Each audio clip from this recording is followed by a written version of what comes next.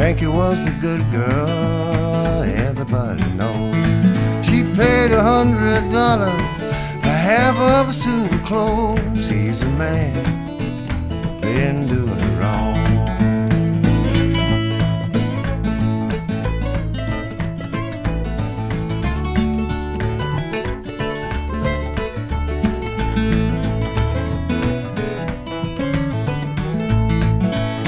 Frankie went to the barroom, she ordered up a glass of beer. Said, tell me the truth, bartender, is my true love in here? He's my man, been doing me wrong. Well, I ain't gonna tell you no story, I ain't gonna tell you no lie.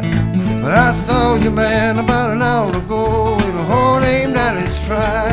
Your man, Ain't doing you wrong.